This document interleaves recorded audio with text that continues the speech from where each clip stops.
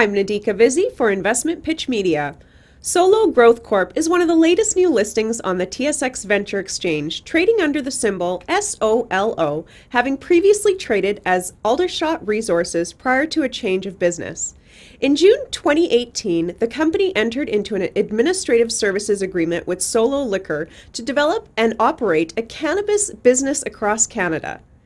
Calgary based Solo Liquor one of Canada's largest private liquor retailers, owns and operates the largest chain of retail liquor stores in Alberta. Solo Growth, operating as YSS by Solo, will benefit from the more than 22 years' experience gained through profitably operating the Solo Liquor retail brand. This relationship will help position the company as a low cost retailer and is anticipated to result in significant savings in general and administrative costs and expenses. The company plans to open more than 60 retail licensed cannabis stores in Alberta in the next three years and expand its retail cannabis business into Ontario.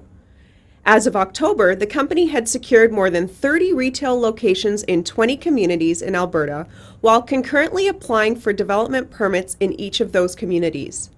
The company is well financed, having raised gross proceeds of $25.6 million from a private placement of approximately 117 million units, priced at 5 cents per unit, and 395 million shares, also priced at 5 cents. The shares are currently trading at 6 cents. For more information, please visit the company's website, www.sologrowth.ca. Contact Pali Bedi, President and CEO, at 403 455 7656.